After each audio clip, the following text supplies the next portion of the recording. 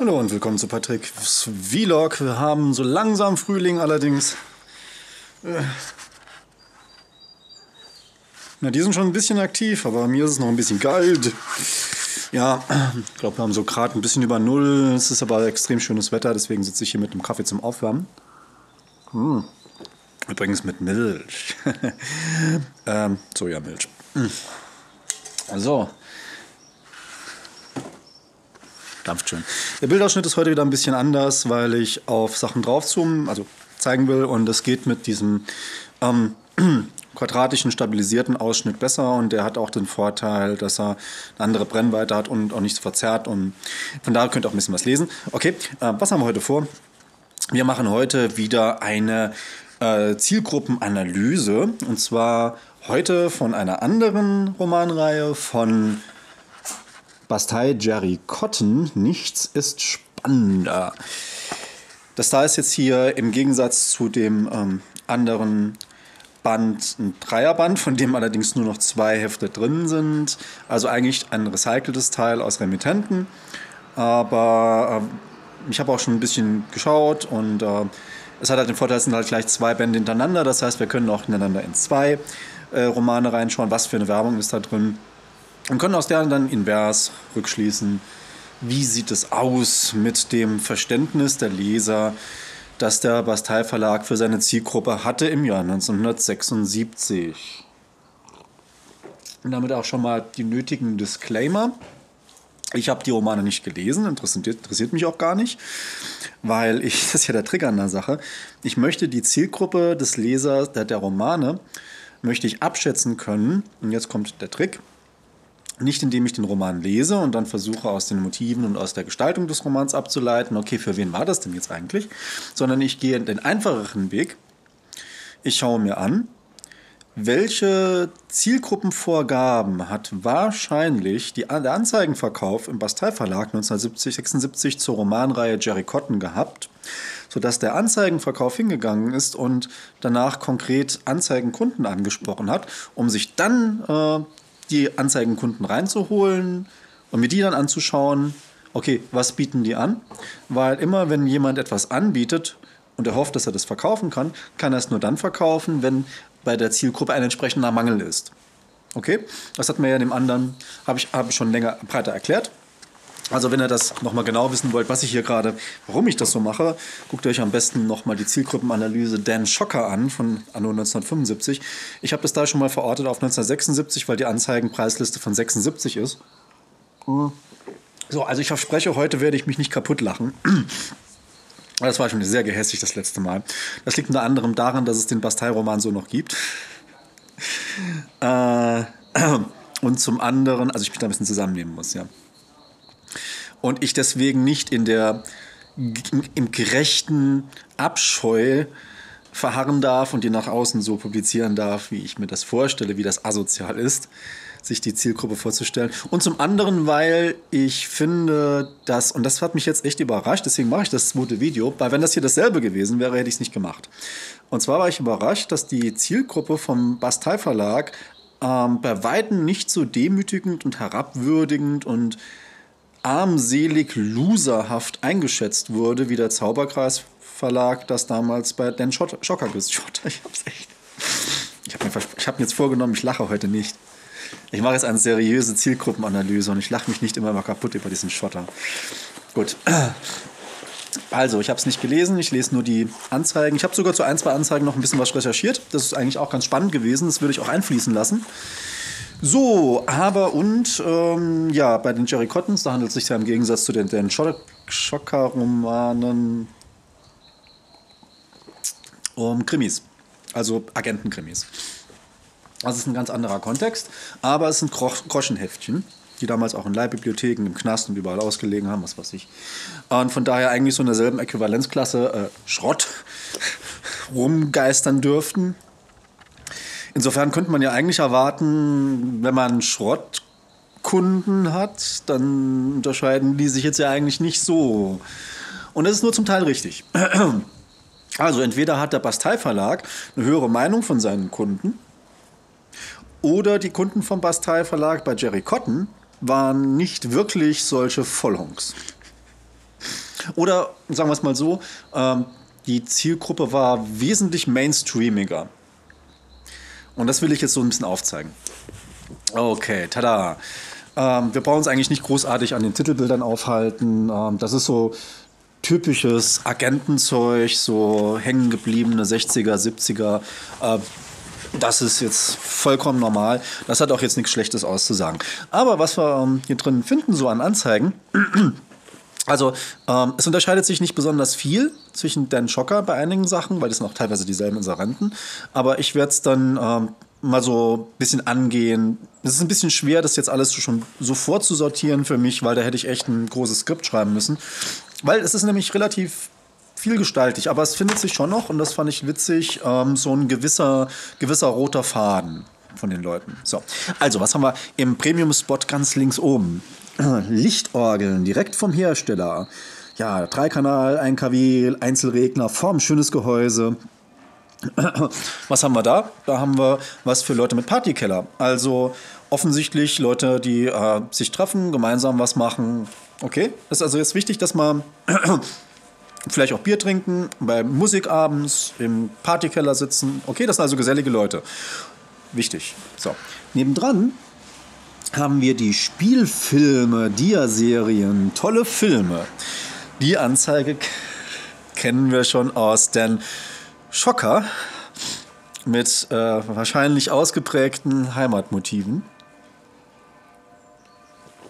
Was natürlich eine ganz andere Zielgruppe ist. Äh, außer wir würden hier davon reden, dass hier die Spielfilme im Partykeller geschaut werden, gemeinsam, bei gemeinsamen Filmvorführungen. Was in den 70ern jetzt ja auch nicht ganz so abwegig ist, weil damals gab es ja eigentlich nur High 8, also Super 8 Filme. Und die Super 8-Filme wurden ja auf, die Projektor, auf diese Projektoren angeschaut. Also ich kann mir schon vorstellen, dass das dann tatsächlich dazu gedient hat, dann zusätzlich zu den Lichtorgeln im Partykeller. Kann sein.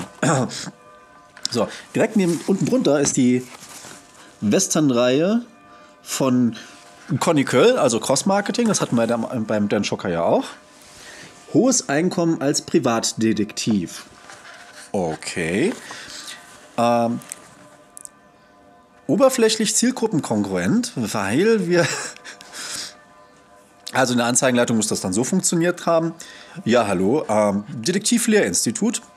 Wir sind eine Agentenheftreihe und bei uns sind lauter Leute, die gerne Agent wären, sonst würden sie ja nicht eine Agentenreihe lesen, bei der ein Agent und Privatdetektiv Fälle löst und sich dort mit dieser Person identifizieren. Finden Sie nicht auch, es ist eine gute Idee, Leuten, die gerne Agenten wären, eine Anzeige zu schalten, in denen sie lernen, wie man Agent und Kleindetektiv wird? Ja, okay. Äh, was hat das klingt auf den ersten Blick natürlich völlig logisch. Man muss sich dann aber auch überlegen, die waren natürlich nicht blöd und kannten ihre Zielgruppe schon noch irgendwie.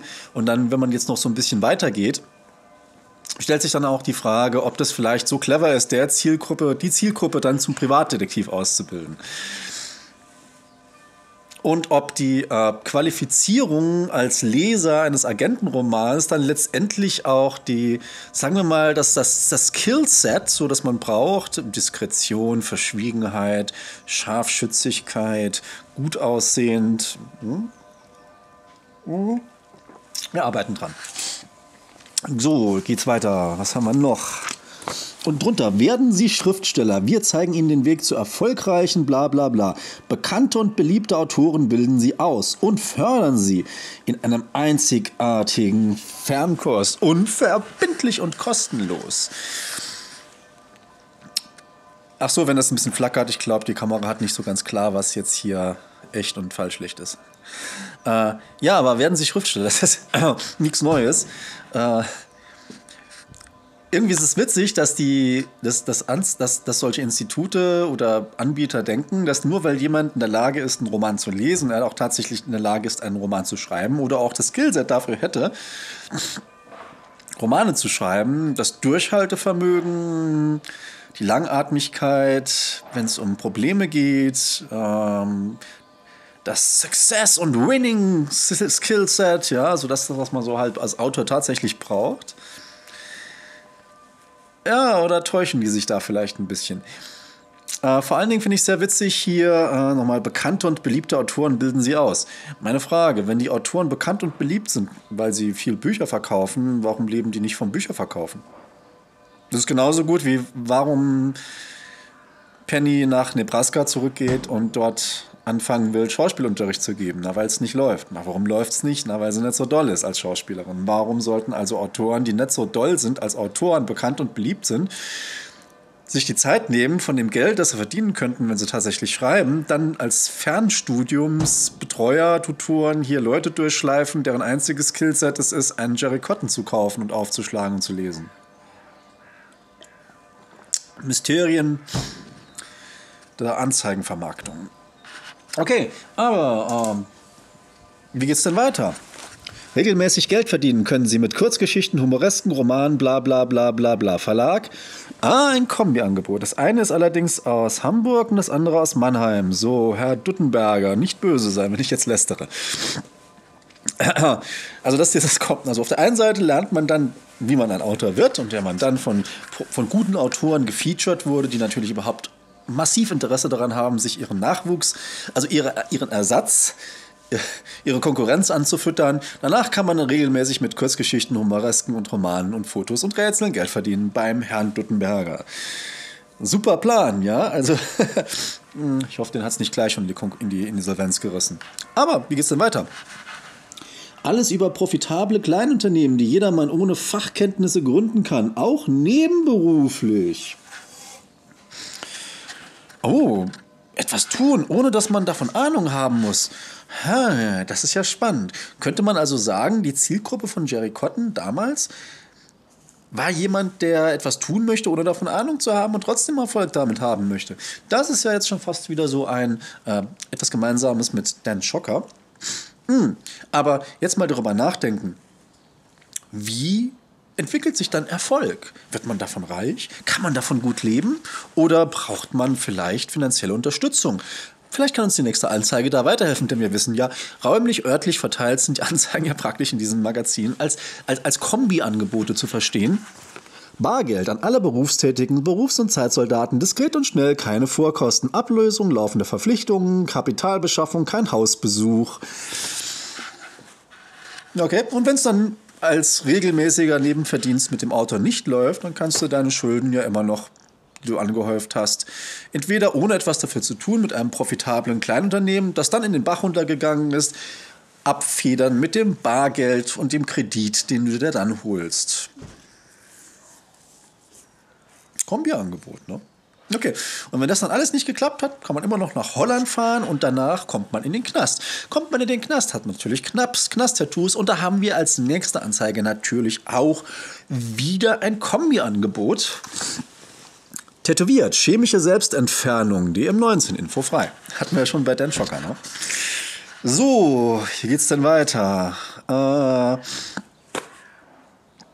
ähm, der Kästversand oder die Kästversand oder wie auch immer vertreibt hier Schallplatten, die auch nicht mehr im Handel erhältlich sind und hier unten Briefmarken.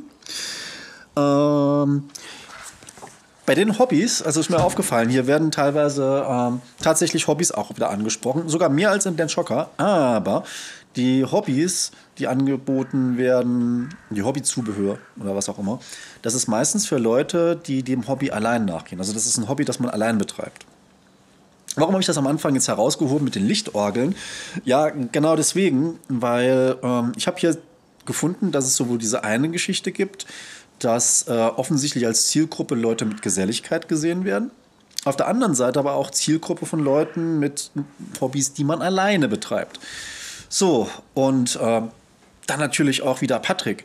Wie kommst du auf die Idee, dass der Verlag Bastei die Anzeigenleitung losschickt, um Leute zu finden, die eventuell alleine daheim sitzen. Wie könnte mich da die Intuition überkommen? Allein, einsam. Warum? Mein Partnerkatalog bringt sofort Kontakte. Haben wir schon aus Dan Schocker? Okay, da haben wir sie wieder. Die einsamen Leute, die nichts auf die Reihe kriegen. Hm. Was denn? Naja, das Übliche. Mädchen kennenlernen. Wie man Mädchen kennenlernt. Das Buch unzähliger Methoden, Beispiele, Tipps und Regeln auf 108 Seiten. Wo man Mädchen kennenlernt, wie man sie anspricht, man mehr Chancen hat und anderen zuvorkommt, wie man Mädchen ausspannt, verführt. Ja, Herr Lanzen Verlag, 20 Mark und man ist dabei. Also wird auch hier offensichtlich in erster Linie eine männliche Zielgruppe bedient, die einsam und allein ist und allein Hobbys nachgeht. Aber ich habe ja schon gleich gesagt, oben Premium-Spot, da war die Geschichte mit den Lichtorgeln für Partykeller. Und da braucht man mehrere Leute, weil die wenigsten sitzen allein in ihren Partykellern. Gucken sich dann alleine, ihre Heimatfilme mit Lichtorgeln an. Das glaube ich nicht. So, äh. In dem Sinne auch gleich weiter. Bestseller, Elektronikblitzer, der Hit für ihre nächste Party. Grelle Lichtblitze erzeugen einen Stummfilmeffekt, der durch das eckige Bewegung für Stimmung auf der Tanzfläche sorgt. Tanzfläche. Partykeller. Ne? Das fand ich spannend. So. Äh, ja. Jetzt wird es wieder witzig. Ah, es, kommen zwei, es kommen zwei witzige Sachen schon gleich auf der ersten Seite. So. Ähm, aber offensichtlich ähm, ist auch die Zielgruppe auch schon auf der Seite noch ähm, vertreten für diejenigen Leute, die was gewinnen wollen ohne dafür viel zu tun oder Risiken einzugehen, auch finanzieller Art, weil wir haben, im Notfall haben wir ja schon hier oben das Bargeld. Können wir dann wieder reinholen. Und zwar Toto Lotto Glück können auch Sie haben, wenn Sie nach unseren treffsicheren wöchentlichen Prognosen tippen. Wöchentliche 12 Seiten brandaktuelle Informationen für die Elva bla bla bla Rennquintett. Schon bei 4 Euro Einsatz kann Ihnen der Volltreffer gelingen. Jetzt wird es richtig gut aufpassen. Hier nur ein Beispiel von so vielen. Unsere Lottoprognose erreicht innerhalb von einem Jahr 23, 6 richtige, 8, 8 mal 5 richtige und Zusatzzahl, 4 mal 5 richtige, 8 mal 4 richtige, 8 mal 3 richtige und nur ein einziges Mal nur 2 richtige. Wow, das sind ja wesentlich mehr Sechser dabei als, als, als Zweier. Abgesehen davon, dass sehr fragwürdig ist, wieso sind da nur zwei richtige? Was waren das für komische Lottos? Hm. So treffsicher waren in unseren letzten Prognosen. Großgewinne sind keine Seltenheit. Okay, also hier sind offensichtlich komplette Vollidioten angesprochen, die das Prinzip Glücksspiel nicht verstanden haben. Vor allen Dingen wird hier auch suggeriert, dass natürlich kein Risiko besteht bei dem Glücksspiel. Also, okay. Ich glaube, ihr habt einen Punkt an der Stelle. Ne? So. Aber ähm, Gehen wir jetzt nochmal auf den körperlichen, gesundheitlichen Teil ein, bevor wir nochmal auf den recht spannenden Teil kommen, zu dem ich auch recherchiert habe. Äh, okay, die Rechercheteile mache ich zum Schluss, weil die sind eigentlich ganz spannend gewesen. So, hier, mit Schwimmkerl, sicher wie ein Fisch im Wasser. Schwimmkerl für Damen und Hintern, äh, Herren. Schwimmkerl Badeanzug, Schwimmkerl Wasserfrosch, die ideale Schwimmhilfe für Kinder jeden Alters. Bitte teilen weiter, bla bla bla, Lieferung gegen Nachname, kein Bargeld beifügen, was damals wohl offensichtlich interessant noch war, das zu schicken. Äh, fordern Sie die kostenlose Schrift sofort sicher Schwimmen von Schwimmkerl Geier an. Also offensichtlich haben wir hier als Zielgruppe Menschen, die nicht schwimmen können. Wie kann man auf die Idee kommen, einen Agentenkrimi zu verkaufen und dann zur Anzeigenleitung irgendeine Direktive zu geben und zu sagen, hey, Leute, die nicht schwimmen können, das sind für uns die Zielgruppe. Leute, die nicht schwimmen können, sind natürlich wieder die Unsportlichen, diejenigen, die nicht ins Schwimmbad gehen. 1976. Wer hat da nicht schwimmen gekonnt? Schwierig. Dafür zählt mir jetzt der Zeitkontext. Aber gehen wir noch zu weiter. Es gibt noch mal eine schöne, schöne kleine Anzeige. Vertrauen Sie den Heilkräutern der Natur. Alters- und Abnutzungserscheinungen, Entschlack und Entgiftung, Exzeme und Schutten, Schuppenflechte, Konzentrations- und Gedächtnisschwäche. Geht auch wieder in Richtung ein bisschen älteres Zielpublikum, ja. Aber an der Stelle möchte ich bemerken, keine Potenzmittel. Überraschend. Also offensichtlich nicht Generation 50 plus. Und äh, Wasser lassen auch kein Problem. Also überraschend. So, aber jetzt kommen wir zu was, äh, zum ersten recht witzigen. Hier, das hat geholfen. Auch Ihre hartnäckigen Sommersprossen und Hautunreinigkeiten werden durch Dr. Druckreis Drula Bleichwachs restlos beseitigt. Warum ist das witzig? Äh, ich habe es für den Spaß mal gegoogelt, weil bevor ich über was hier, schlimm jetzt herziehe, zum Beispiel äh, brennt Löcher in die Fresse, äh, gucken wir mal nach, ob wir irgendjemanden anpissen, der vielleicht noch lebt. Hm. Es gibt das äh, Drula Bleichwachs immer noch. Das von 1976 und 2018 wird immer noch Trula Bleichwachs vercheckt. Und soll ich euch was Witziges sagen? In den Rezensionen auf Amazon und was weiß ich, wo ich es gefunden habe, äh, das scheint tatsächlich zu funktionieren. Also irre, guckt mal nach. Also Trula Bleichwachs. Witzig. So, aber äh, der zweite Teil, äh, aber gut, aber für wen ist das jetzt? Unsichere Leute, Leute, die mit ihrem Aussehen unsicher sind, ja. Und äh, weil ansonsten müsste man die Sommersprossen und Hautunreinheit ja nicht wegmachen. Und wer ist unsicher mit seinem Äußern? Ja, sicher, witz, witzigerweise, ich glaube sogar Frauen und Männer gleichzeitig. Ja, also von daher äh, ist das jetzt auch wieder nicht so die ganz krasse Sache auf die Männer 50-Plus-Geschichte, wie man jetzt vielleicht erwartet hätte von so einem Agententeil. Mhm, eben nicht. Ne? So, und jetzt kommt was ganz Witziges. Western Gun Model 76, 318 Mark. Zehnschüssiger Unterhebelrepetierer im Kaliber 4 mm, Randzünder, langgezogener Stahllauf, Holzschaft. 100 Patronen, Lieferung gegen amtlichen Altersnachweis, Rückgaberecht, Neumann Waffen, irgendwas. Warum ist das spannend? Äh, ich habe nach den Dingern gegoogelt, weil weswegen ich halt ein bisschen verunsichert war, was das jetzt hier soll. Weil das ist ja, weil da steht ja 4 mm, ist das Luftgewehr. Mhm. Das ist nicht. Das ist der Spaß an der Sache. Das ist kein Luftgewehr, das ist tatsächlich ein echtes Gewehr. Für 318 Mark konnte man eine Schusswaffe nur gegen Altersnachweis kaufen. Mit Kaliber 4 mm. Das könnt ihr jetzt nachgoogeln und ihr könnt euch das auf YouTube anschauen. Die kann man sogar heute noch kaufen. Allerdings mit ein paar Einschränkungen und äh, die ist eigentlich völlig Quatsch machen, das zu kaufen. Aber wenn es da zu kaufen war, stellt sich ja die nächste Frage, warum konnte man das kaufen? So, und äh, da gibt es ein bisschen Background-Infos dazu, die ich mir gezogen habe. Das war ganz witzig. Dieses Kaliber 4 mm, das war die Mäusepistole. Und äh, bis 1972 waren die Dinger tatsächlich ab 18 frei zu kaufen. Und bevor jetzt irgendwelche Leute anfangen, äh, die Hände über dem Kopf zu schlagen, wie kann man Schusswaffen frei verkaufen ab 18? Wie in Amerika. Uh, not so much. Die Mündungsenergie von dem Ding ist ungefähr 7,5 Joule. Damit kann man sich wehtun, aber das ist genau dasselbe wie, eine, äh, wie ein Luftgewehr. Also die Mündungsenergie ist witzig, mit diesen 4 mm geschossen, ist genau das gleiche wie mit dem Luftgewehr. Da ist mit die Grenze in Deutschland auch bei 7,5 Joule. Kilojoule? Joule. 7,5. Ähm, und der Background, den ich noch gezogen habe, ist, dass man das Ding natürlich nur bis 1972 offiziell freikaufen konnte. Warum ist das spannend? Na, das Heft ist von 1976 mindestens. So, also was bedeutet, dass da jemand offensichtlich so Waffen verkauft gegen den Altersnachweis und mit der aktuellen, vier Jahre späteren Rechtslage nicht so entweder vertraut war als Waffenlieferant oder es war ihm scheißegal. I don't fucking know. Aber das fand ich jetzt irgendwie spannend. Die kann man heute übrigens auch noch ab 18 kaufen. Das ist nicht das Problem. Das Problem ist nur, man muss sie entsprechend lagern und dazu braucht man einen bestimmten Waffenbesitzschein und bla bla bla bla bla. Und warum es völlig äh, uninteressant ist, die Dinger zu, tatsächlich zum Schießen zu benutzen, ist, weil die Munition teurer ist als 9 mm und auch der letzte Hersteller die Produktion der Munition eingestellt hat, weswegen die extrem teuer ist. Aber das sind ganz normale Gewehre und Pistolen gewesen damals. Und die haben ganz normal geschossen, was man darunter versteht. Der war noch richtig Metall, also kein Plastikkacke oder so irgendein Rotze. Nee, nee, nee, die waren richtig, nur halt 4 mm. Wenn ihr euch auf YouTube anschaut, wie die Dinger schießen,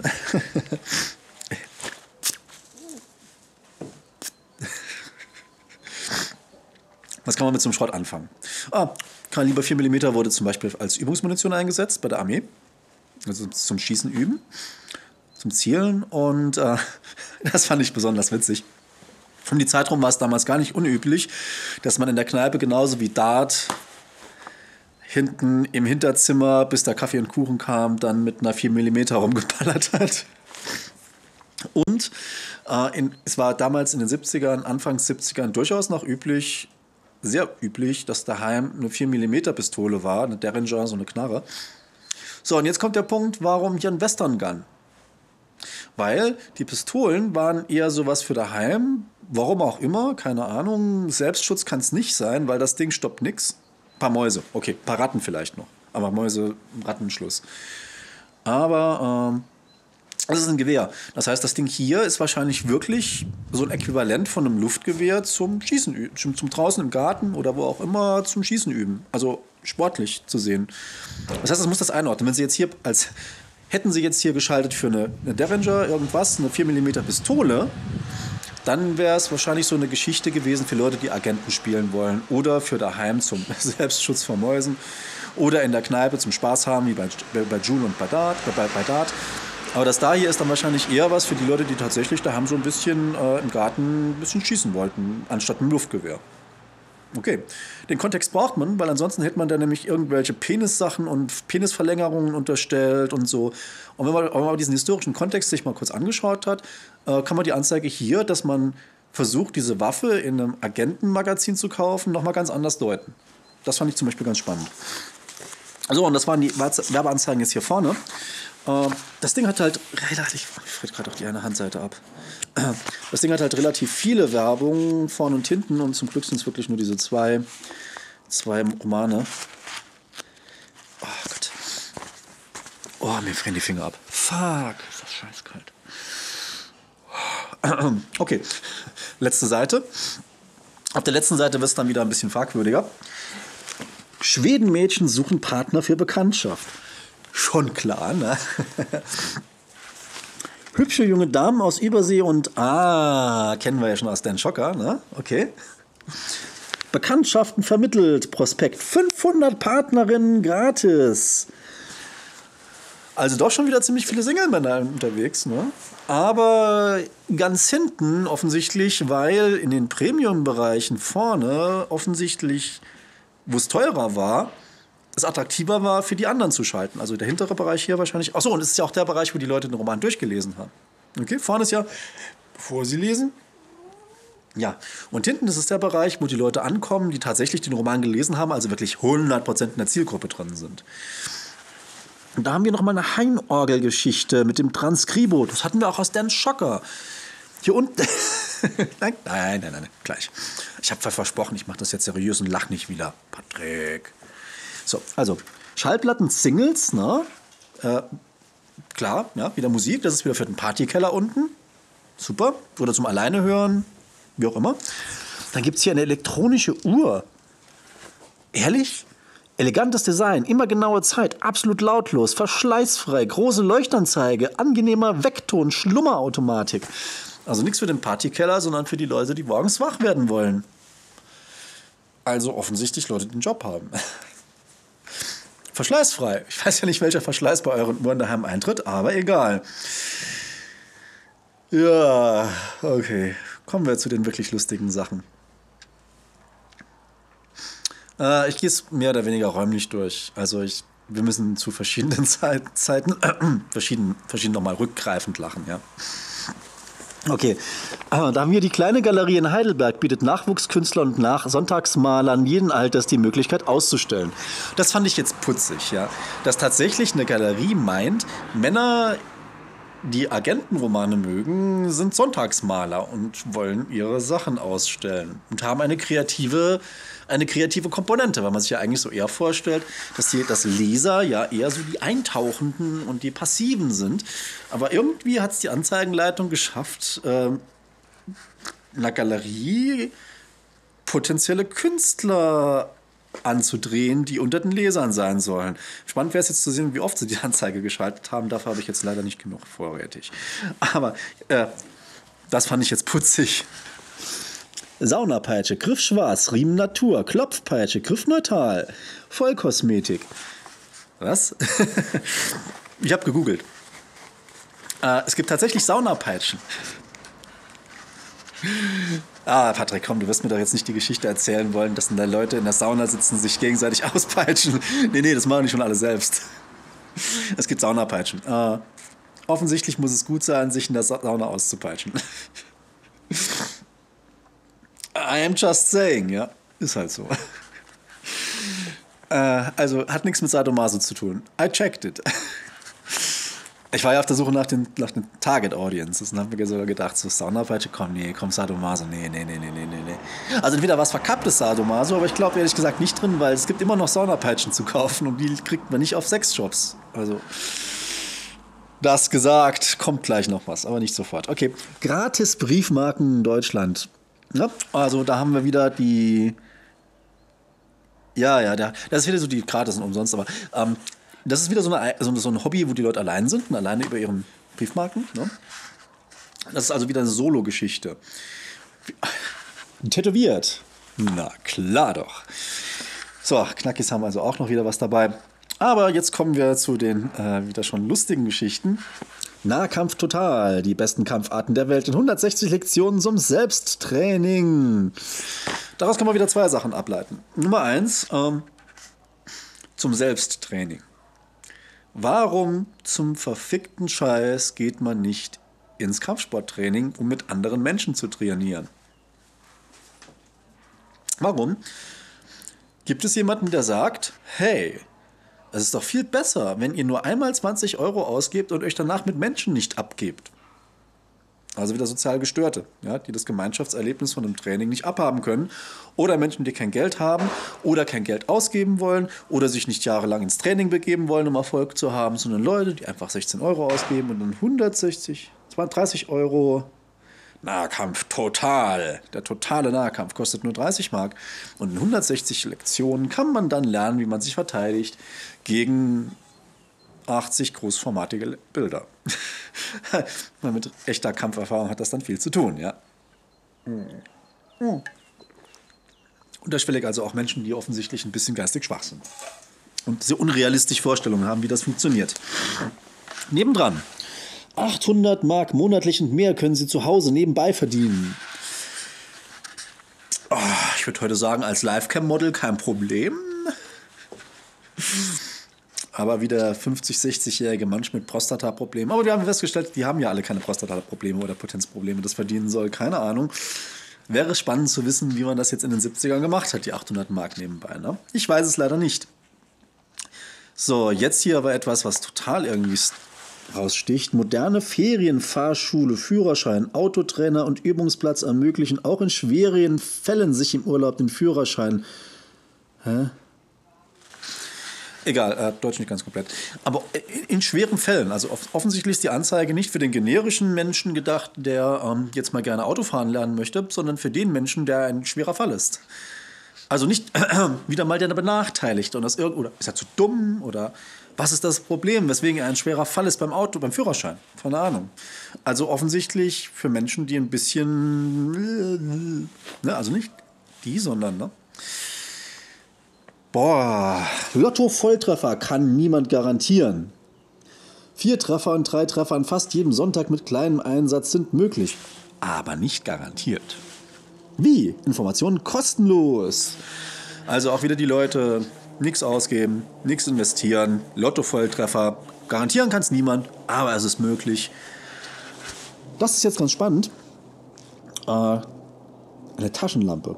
Also an der Stelle bin ich ehrlich gesagt ein bisschen ausgestiegen, weil Fast ein Kilometer weit reicht der kräftige Lichtstrahl dieser wohl einmalig starken Stablampe mit eingebautem Pannenwarnblinker. Unentbehrlich für Auto- und Bootsfahrer, Sporttaucher, Campingjäger, Angler, Fischer, Landwirte, Pfadfinder, Wanderer, Bergsteiger, Polizei, Zolldienst und alle, die bei Dunkelheit auf gutes Licht angewiesen sind. Schwimmt auch im Wasser mit Stoßkegel nach oben. Notsignal. Schlag- und stoßfestes Plastikgehäuse. Unzerbrechlich. Mit sechs Monozellen. Und dann schwimmt das Ding noch? Okay. So, aber ich finde jetzt hier spannend, diese, diese Berufsliste, weil es macht doch nur Sinn, diese Berufsliste aufzuzählen, wenn die Leser innerhalb dieser Berufsliste drin sind, weil ansonsten ja keine Identifikation stattfindet. Okay, also muss der Anzeigenvertrieb hingegangen sein und gesagt haben, hey, wissen Sie was, wir haben hier bei unserem Roman ganz viele Jäger, Camper, Angler, Fischer, Landwirte, Pfadfinder, Wanderer, Bergsteiger, Polizei und Zoll und die wollen alle eine Lampe. Also ich muss, also ich finde die Lampe jetzt vielleicht gar nicht mal so schlecht, aber ich finde es nur ein bisschen seltsam. Also, wie man auf die Idee kommt, das zu Also, entweder war der Anzeigenverkauf sehr kreativ Oder er hat gar nicht so mit extrem festen Zielvorgaben für die Target Audience gearbeitet, sondern hat einfach versucht zu kriegen, was er kann. Und äh, sehr gestreut, ne? Also insbesondere gehen wir mal zum nächsten weiter. Plastikmodellbau, das Hobby für Jung und Alt, super Auswahl, viele eigene Importe, bekannte Bausätze, bla bla bla. Intermodell. Also erstmal bin ich ein ganz großer Freund von Kampfflugzeugen des Zweiten Weltkriegs Bausätzen, weil die habe ich als kleines Kind nämlich immer ganz gerne gebaut. Ja, ich habe sie nicht angemalt, das war vielleicht doch ein bisschen. Außerdem habe ich sie immer verbappt und. Aber das war in den 70ern wirklich ganz cool. Da hat man so von Matchbox oder Revell die Bausätze gehabt. Ja, also äh, nicht schlecht im Prinzip, ja. Aber das ist so ein Hobby, das man auch wieder alleine macht. Okay. So, da, jetzt kommt aber genau wieder das Gegenteil eigentlich. Sprechfunkempfänger, attraktives Multiband-Spezialradio. Wollen Sie mehr wissen? Und das ist wieder Kommunikation. Das heißt also, hier hast du Leute, die wieder miteinander sprechen. Ja? Also das, das ist jetzt nicht die Geschichte mit so, wir haben jetzt hier nur als Zielgruppe äh, allein da sitzende Verlierer ohne Hoffnung auf jemals irgendwie Kontakt und Erfolg, sondern hier wird tatsächlich etwas verkauft für Kontakt zwischen Menschen, nämlich ein Sprechfunkempfänger. Moment. Ah. Hm. Empfänger, nicht Sender. Okay, ich ziehe die Geschichte zurück. Wir reden hier über Leute, die. Mein Fehler. Mein, die, die belauschen wollen. Was aber jetzt auch nicht ganz unverständlich ist, weil es ja ein Agentenheft ist. Das heißt, die wollen ein bisschen Agent zu spielen, ja. Aber wen wollen die belauschen? Hm. Und warum muss man andere belauschen? Hat man da nichts Besseres zu tun mit seiner Zeit? Hm, hm. Okay. Bargeld beschaffen wir für alle Zwecke, reell und streng vertraulich. Wir helfen Ihnen. Wenn jemand Hilfe braucht, hat jemand ein Problem. Also ist die Zielgruppe hier wieder Menschen mit Problemen, mit Geldproblemen, die ihr Leben nicht auf die Reihe kriegen und ihre Finanzen nicht auf die Reihe kriegen. Rell und streng vertraulich. Und Menschen, die sich auch noch schämen dafür, dass sie Geldprobleme haben. Okay. So, und jetzt kommen wir zu einem äh, ich bin überzeugt, extrem guten Produkt, weil ich habe nämlich selber noch einen. Ach nee, wie witzig. Ich glaube, ich habe einen 3008er. Ich bin aber, doch, ich glaube, ich einen 3008er. Braun Sixtant, die perfekte Trockenrasur, rasiert im Nu glatt und sanft wie nie zuvor. Werbung für Trockenrasierer. Ja, okay, männliches Zielpublikum. Ja, da steht aber nicht für Männer ohne Gehirn mit kleinem Pimmel und Wasser das Problem, sondern da steht männliche Männer mit Bartwuchs. Und über Braunprodukte brauchen wir ja nicht meckern. Die waren echt geil. Scheiße. Ah, also, ah, ich glaube, es wird doch kein zweites Heft mehr, wenn es echt zu kalt. Mhm. Mhm. Außerdem kriegen wir gerade wieder einen guten Drive so an die. Okay, äh. Lernen lohnt sich wieder. Englisch, Französisch, Italienisch, Spanisch, bla bla bla. Bras Portugiesisch, Brasilianisch. Lernen sich schnell und gründlich in Zickerts Fernkursen. Hm. A. Interessant, äh, dass in den 70ern offensichtlich Fremdsprachen noch so interessant waren im Gegensatz zu heute. Und ich kann mir auch vorstellen, dass das so wegen Agenten und ähm, Brasilien, das, diese ganze, dieser ganze äh, äh, Flair des Exotischen, dass die Menschen dann sagen, okay, ähm, ja, da würden wir ganz gerne auch diese Sprachen, die wir in diesen Romanen hier, wo diese Schauplätze sind, äh, Geheimauftrag, Catania, von New York bis Sizilien, ja klar, Italienisch, ne? Hm, Italien, könnte man auch mit Urlaub fahren oder so, keine Ahnung. Also das könnte dann schon der Grund sein. Also das ist jetzt eigentlich gar nicht mal so schlecht, weil jemand für Menschen mit einem gewissen kognitiven Bedürfnis, also Lernbedürfnis, ja. Aber äh, kein Vertreter. Vertreter müssen irgendwie einen ganz schlechten Stand gehabt haben in den 70ern. Hm? Hm, keine Ahnung. So, jetzt wird es aber gut. Auch wieder ein Kombiprodukt, weil räumlich aneinander angeordnet. Das heißt, nochmal, wenn man zwei Zielgruppen hat, die sehr, sehr nah beieinander liegen, dann legt man die Anzeigen für die beiden auch ganz genau beieinander, okay? Der 5-Minuten-Unterschied, der sie hübscher und selbstsicherer macht. Unvorteilhaft abstehende Ohren formen sie selbst anliegend mit dem AOBE-Verfahren. Ganz einfach. Preis komplett 22,18. Diskrete Lieferung auch ins Ausland. Gleich bestellen. So. Also offensichtlich waren damals Segelohren ein riesiges Problem. Hat hässlich gemacht, unsicher Und man schämt sich dafür. Ansonsten müsste man es ja nicht diskret liefern. Mit anderen Worten, wir haben hier eine Zielgruppe von Menschen, die mit ihrem Äußeren extreme Probleme haben, unsicher sind. Und ich habe versprochen, ich lache nicht. Aber ich, okay. Äh, wenn man eine Zielgruppe von Menschen hat, die extrem unsicher sind und die hässlich sind und die kriegen natürlich nichts zu bumsen, ist ja klar, ne? Wenn man aber genau weiß, man hat hier eine Anzeige für Leute, die nichts zu bumsen kriegen, was für ein Kombiangebot könnte man denn da machen? Hm? Ich, ich habe das nicht, ich habe die Anzeigen nicht so angeordnet und ich habe sie nicht verkauft, okay? Ingrid, die aufblasbare Puppe, lebensgroß beweglich aufblasen. Sie haben eine Schönheit als Gespielin mit idealen Maßen, warm aus fleischfarbenem Vinyl, tausend und eine Möglichkeit, Luxusmodell, 69 Vorkasse 49, für denselben Scheiß, aber in billig aus Holland. Okay, hast du Segelohren, machst du für 22,80 weg und wenn das noch nicht klappt, dann hol dir eine Gummipuppe. Jo, Bastei, da habt ihr 1976 haben wir so richtig gerockt, ja. Okay, und ähm, ja, was wäre denn die Alternative, nachdem man die Ohren so ein bisschen angeklebt hat? Ich weiß nicht, was die sich da vorstellen. Wahrscheinlich, also ich kann entweder tackern die die da dran mit irgendeiner Tackermethode oder sie kleben sie fest mit Kleber, keine Ahnung, was sie da vorhaben. Weil mit Schönheitsoperation wird es nicht. Aber wie verändern wir noch unseren Körper, der hässlich und beschämenswert ist? Arnold Schwarzenegger hat auch hier wieder die Antwort Muskeln. So, und über den Karatekämpfer und die Nahrungsersätze, die ohne Aufwand direkt schon nach dem ersten Einnehmen einen dicken Oberkörper und eine dicke, geile Frau auf den Oberkörper zaubern und Muskeln für Leute, die keine Muskeln haben. Das brauchen wir nicht durchsprechen. Das haben wir nicht bei den Schocker schon durchgesprochen. Das heißt, da haben wir auch wieder das Zielpublikum Menschen, denen die Muskeln fehlen, Menschen, die ohne etwas dafür zu tun ganz dick Muskeln bekommen wollen, geile Frauen abbekommen wollen und Achtung in der Gesellschaft durch Muskeln. Hinweis, ich kann euch verraten, äh, ich habe noch nie eine Frau gekriegt, weil ich Fitnessstudio gemacht habe. Ich habe manchmal Frauen gekriegt, weil ich sie angesprochen habe. Aber nicht, weil ich Fitnessstudio gemacht habe. Macht euch mal keine Sorgen. So, bei den anderen Sachen geht es halt jetzt weiter. Ähm, ich gehe noch mal ganz kurz drauf hier. Luftpolsterschuhe für Leute, die zu klein sind. Ne? Oder? Nee, für langes Gehen und Stehen. Oh, interessant. Dr. Mertens ist ja witzig. Okay.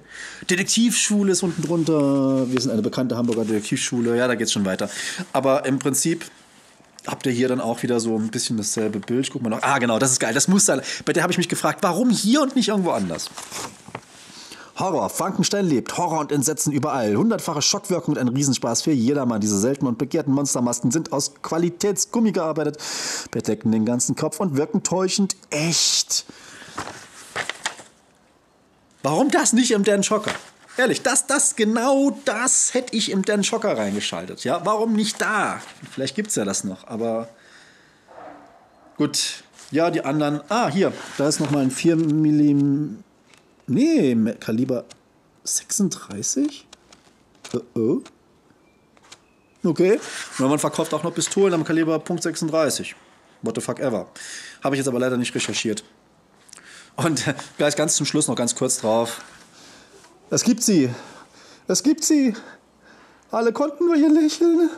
Sophia Loren, das goldene Blatt.